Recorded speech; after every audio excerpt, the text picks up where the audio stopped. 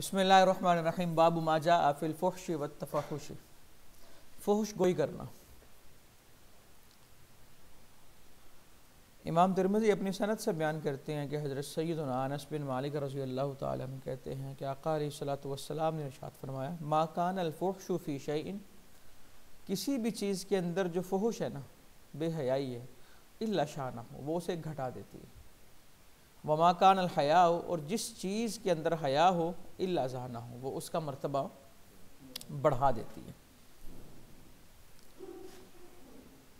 अब देखें, आका सलाम ने इरशाद फरमाया, खियारुकुम अहासिनुकुम अखलाक़ा।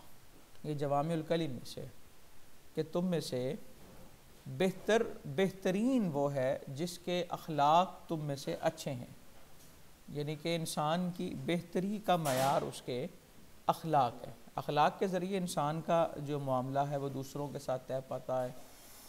बड़ा खूबसूरत एक जुमला है कि मीठी ज़बान वाले की मिर्ची भी बिक जाती हैं और कड़वी ज़बान वाले का शहद भी नहीं बिकता। तो ज़बान के ज़रिए सारे मामला होते हैं।